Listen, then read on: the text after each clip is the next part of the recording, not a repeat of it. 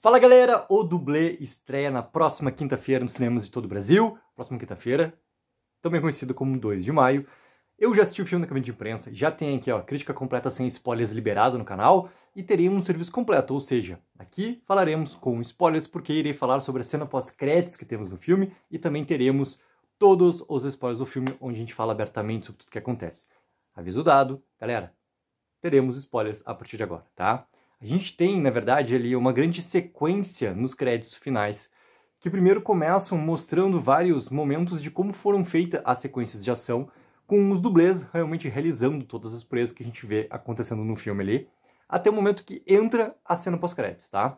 E a cena pós-créditos, cara, ela simplesmente tem ali o personagem do, do Tom Rider, tá?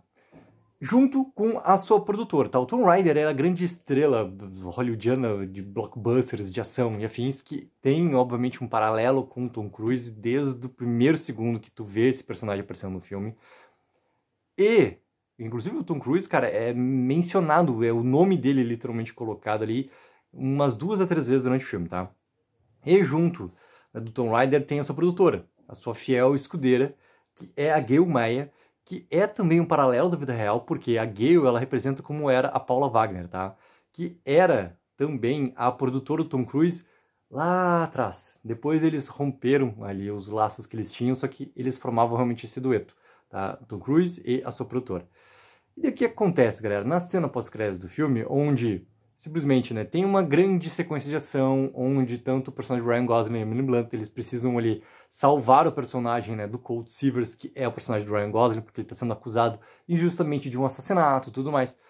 Essa cena pós-créditos, a gente vê o que acontece, que o filme simplesmente pula esse momento, tá? Com o Tom e com a Gale. Porque eles foram gravados, né, e tem, através dessa gravação, a prova de que foram eles realmente que Fizeram tudo ali para armar um plano contra o coach e incriminar ele.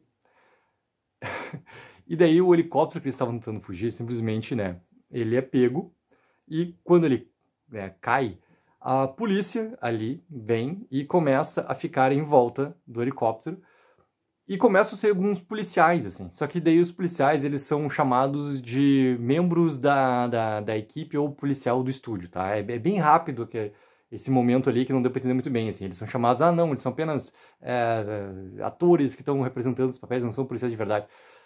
Um desses é, policiais que estão ali, tá, ele é o Lee Majors, cara. E o Lee Majors é, né, deixa eu até, cara, pegar aqui direitinho, porque eu sempre confundo, cara, é o homem de 6 milhões de dólares, tá?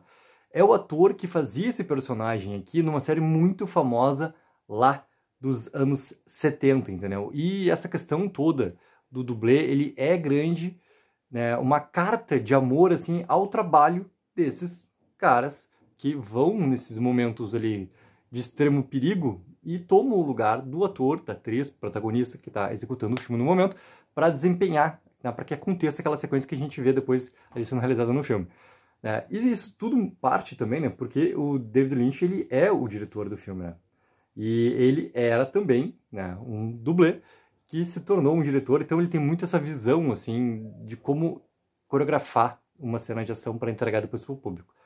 Na sequência da cena pós-crédito, depois que aparece o Lee Majors ali, tá? a, a Gale tenta gritar, oferecer dinheiro, não acontece nada, ela acaba ficando presa ali, né, por causa daquele cerco que tem do, do, dos policiais ali.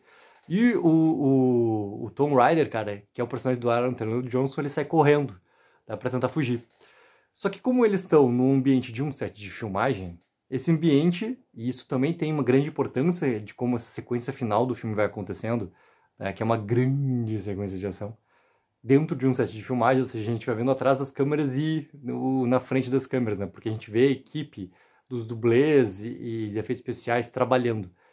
Quando o Tom Rider sai correndo né, pela, pela areia, simplesmente a câmera vai um pouquinho para o lado e mostra que tem uma grande placa de aviso.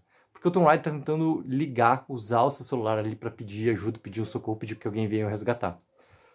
E daí tem ali, cara, não tem sinal de telefone, não sei o que, não sei o que, e uma das coisas assim, ó, é, não entre porque é um ambiente perigoso porque tem explosivos.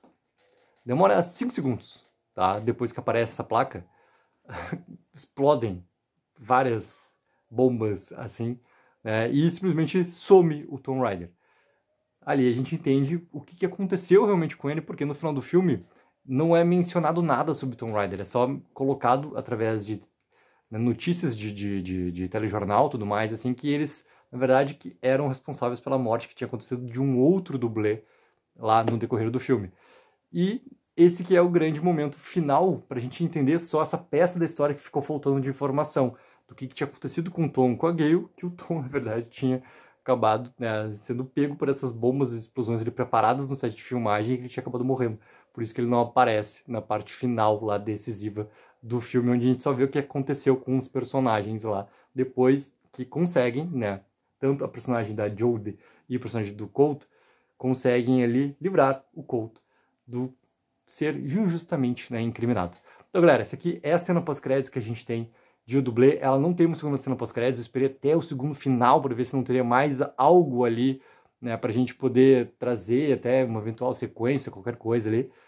Crítica completa, sem spoiler já está liberada. Depois também teremos aqui crítica completa com spoilers. Galera, coloquem embaixo nos comentários o que acharam sobre a cena, expectativas, se vão ou não vão assistir o filme também. Não esqueçam sempre de dar aquela ajuda que é mega importante, de curtir o vídeo e assinar o canal. Take04, viva o sonho aqui.